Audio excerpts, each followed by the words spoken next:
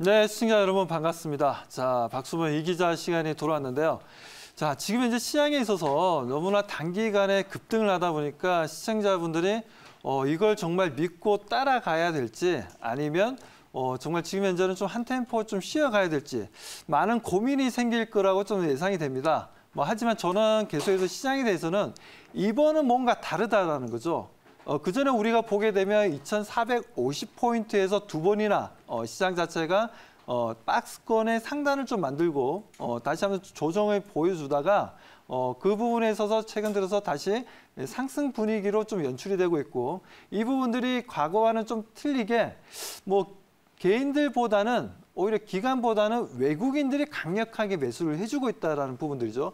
자 그렇다면 그 부분에 있어서 어, 오늘 자료를 하나하나 보면서 좀 말씀드리고 이번 주 스케줄에 대해서 어, 또한 말씀을 좀 드리도록 하겠습니다.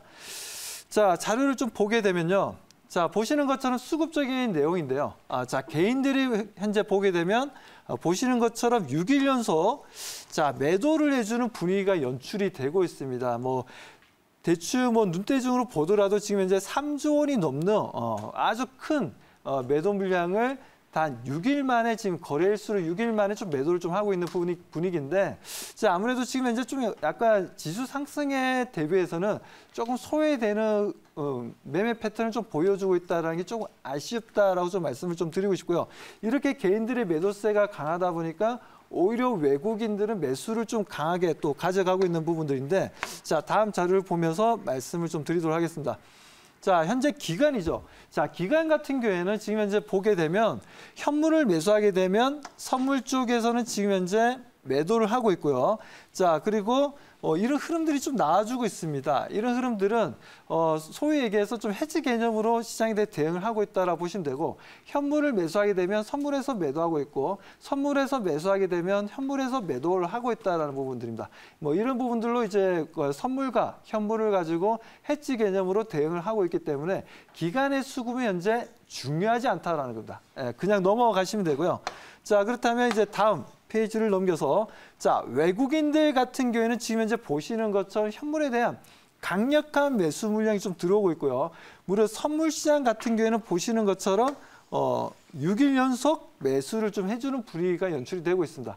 뭐 이렇다 뭐 보시는 것처럼 이렇게 지금 현재 시장의 주도 적인 분위기를 만들고 있는 건 바로 외국인들이라는 거죠. 이런 외국인들의 움직임을 보면서 우리가 차분히 대응을 할 필요가 있다는 말씀드리고 어, 지수에 대해서 종목에 대해서는 종목은 약간의 차별화가 좀 이루어질 수는 있겠지만 전체적인 큰 물지기로 보게, 보게 되자면 강력한 상승 분위기가 지속된다라고 우리가 예측을 해볼 수가 있는 상황입니다. 자 그렇다면 우리가 어, 보시는 건 이제 코스피 지수입니다. 자 코스피 지수가 보게 되면 그동안 보게 되면 2,400 아, 2,450포인트에서 항상 고점 움직임을 좀 보여줬던 부분들이었고 자 오늘 같은 경우에 오늘 2,450포인트를 넘기는 아주 좋은 움직임을 좀 보여주었습니다. 자 현재 박스피에서 박스피가 움직임을 보여주고 있고 어, 보시는 것처럼 여기서 지금 현재 하단 부분들 어, 대략적으로 2,250포인트가 포인트와 2,300포인트 사이에서 하단을 만들고 다시 한번 상승 분위기를 연출하고 있다는 부분들이죠. 뭐 그렇기 때문에 뭐 그동안에는 박스피 움직임을 보여주다가, 보여주다가 이제 해외 증시가 강력하게 상승하고 있지 않습니까? 그렇기 때문에 해외 증시의 강력한 상승으로 우리 지수 또한 코스피에 대한 상승 분위기를 한번 좀 기대해 볼 만하다.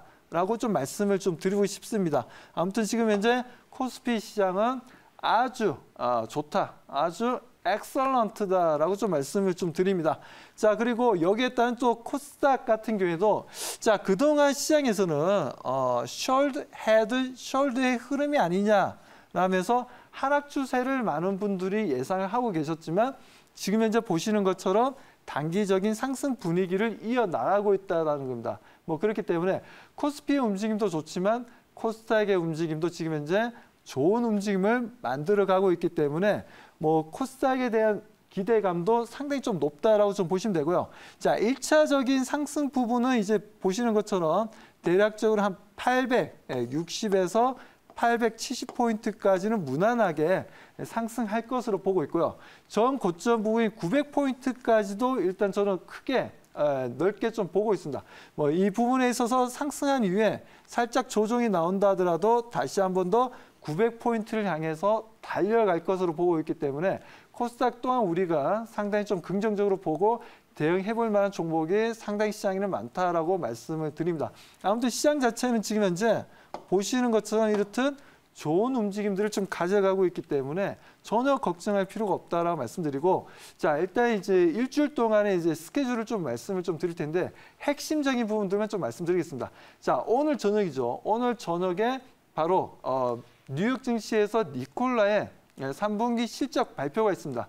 자, 물론 3분기 실적 발표 같은 경우는 뭐 별로 좋지는 못하겠죠. 하지만 그 부분에 있어서 어, 시장에서 어떤 방향으로 보여줄지가 좀 관건인데 뭐 52주 뭐 니콜라 같은 경우에는 최고 최근에 많이 올라갔을 때가 어, 주당 90달러를 좀 넘겼던 부분들이었습니다. 90달러 좀 넘겼던 부분들인데 뭐 최근 들어서는 19달러까지 좀 내려왔어요. 어, 내려온 부분들이고 많은 우여곡절을 뭐 겪고 있다라고 좀 보시면 되고 어, 이런 부분들을 보게 되자면 우리가 과거에 어, 테슬라의 이제 어, 예, 테슬라의 이제 머크죠.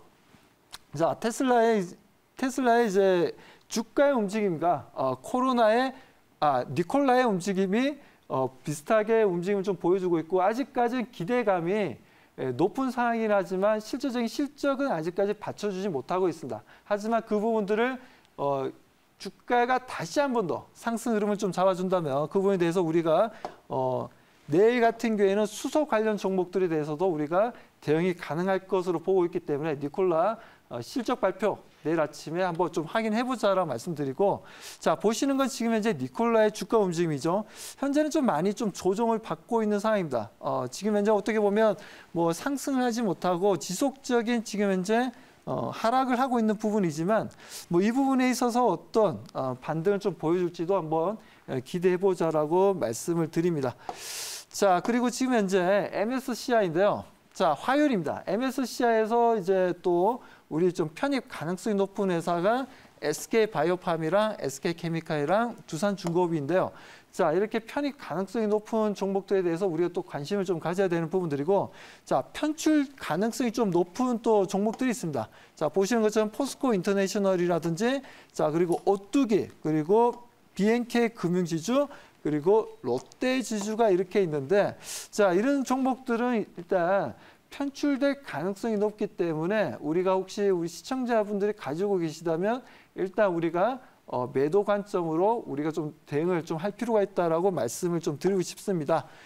자, 그리고 이제 다음을 좀 보게 되면 수요일이죠. 자, 수요일 이제 11월 11일입니다. 아, 그에다 이제 솔로데이라고도 하는데 자, 중국의 광군제죠. 자, 구, 중국의 광군제를 통해서 또 우리가 또 기대해 볼 수 있는 부분들이 이제 중국 관련된 소비주들의 움직임들을 우리가 어, 관심 있게 볼 필요는 있다라고 좀 말씀을 좀 드리고 싶고요.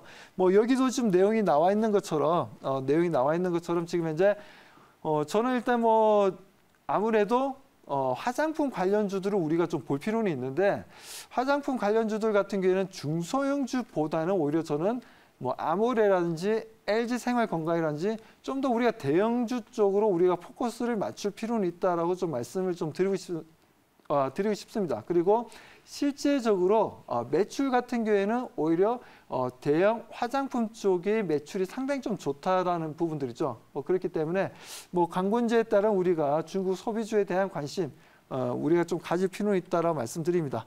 자 그리고 수요일 같은 경우에 세 분이 좀 나와 있죠. 자 보시는 것처럼 지금 현재 어, 20의 에, 라가르드 총재 그리고 영국 BOE 자, Bank of England의 앤드류 베일리 그리고 보시는 이제 연준 의장, 미국의 연준 의장 파월인데요. 자, 이 세 분이 수요일 날 또 만나게 됩니다. 아, 만나게 되는데 또 어떤 내용이 나와줄지 아주 관심이 높은 상황이고요. 어, 이 부분에 있어서 지금 현재 최근에 어, 어, 파월 의장 같은 경우에는 계속해서 얘기했죠. 경기 부양책이 나와줘야 된다는 얘기를 계속해서 하고 있는 상황이기 때문에 우리가 그 부분에 있어서는 수요일 어, 이런 세 분의 모임에 있어서 어떠한 경기 부양책이 나와줄지 좀 관심이 이슈화 될 것으로 보고 있습니다. 자, 다음을 좀 보게 되면 목요일 날 에, 선물 옵션 만기일입니다. 온- 이번 주. 하지만 이번에는 롤오버할 물량들이 상당히 좀 많을 것으로 보고 있어서 어, 이번 변동폭은 크지는 않다라고 좀 보고 있습니다. 그렇기 때문에 크게 걱정하지 마시고 어, 시장에 대해서는 차분히 대응하자라고 말씀드립니다. 자 그리고 금요일 같은 경우는 프랑스의 국가 신용 등급이 이제 발표가 있습니다. 바로 이제 에, 미국에 있는 어, 세계에서 3대 평가 신용 평가사인 피치에서 발표가 있는데 아, 아무래도 최근에 뭐 시- 프랑스 같은 게 셧다운돼 있고 코로나 확진자 수가 많았던 부분들이 있기 때문에 아무래도 피치가 어, 프랑스의 신용 등급을 하향할 가능성이 높습니다. 뭐 그 부분들을 우리가 어, 좀 관심 있게 볼 필요가 있다 말씀입니다. 자, 일단 이번 주에 핵심적인 또 이슈들을 이렇게 좀 정리해서 좀 말씀을 드렸던 부분들인데 아무튼 이 부분들 꼭 참고하시고요. 자, 그리고 지금 현재 어, 무료방을 지금 이제 열어놨습니다. 열어놨기 때문에 시청자분들 어, 많이들 들어오셔서 자, 이제부터 시장에 대한 내용도 말씀드리겠지만 어떠한 섹터를 바라보고 우리가 대응해야 될지를 어, 명확하게 제가 하나하나 어, 쪽집게와 같이 짚어서 말씀드릴 테니까요. 어, 많은 분들 에, 들어와서 한번 좀 얘기를 좀 한번 들어보시기 바랍니다. 자, 그러면 저는 여기까지 말씀을 좀 드리도록 하고요. 아, 박수범 이 기자, 아, 다음 시간에 또 찾아뵙도록 하겠습니다.